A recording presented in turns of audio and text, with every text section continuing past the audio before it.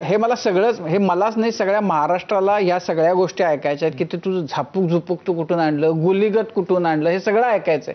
पण त्याच्या आधी मग आई वडील गेल्यानंतर आई पण तुझी लवकरच लगेचच गेली. आईला काय झालं टेन्शन घेतलं ना बापाचं माझ्या. आप्पाचं लय टेन्शन घेतलं. ती ढकल जायची तिला बाहेरचं लागलं.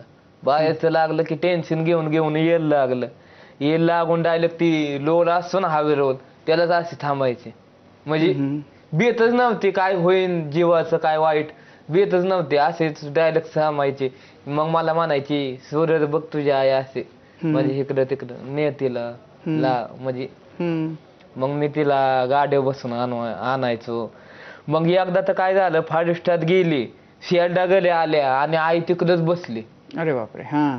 अंधारात पाट आली ठकाठक म्हणजे दरवाजा वाढवसाठी टक टक. मग माझी बहीण म्हणली आई तू कुठं गेलती? आई म्हणली काहीच बोलत नव्हती. म्हणजे त्या बहानात तिला काहीच करत नव्हतं. मग कुठं चालले आणि कुठं गेलती? तिला काहीच करत नव्हतं आईला माझ्या हम्म. हम्म. मग घरी आले मग तिला झोपावलं.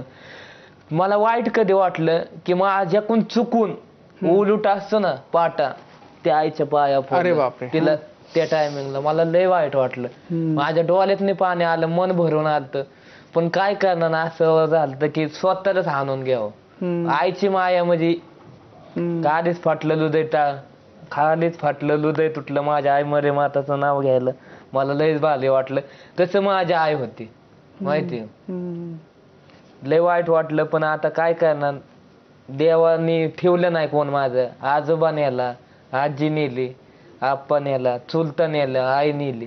मला काहीच फॅमिली नाही. म्हणजे माझं कोणच ठेवलं नाही. घरातलं.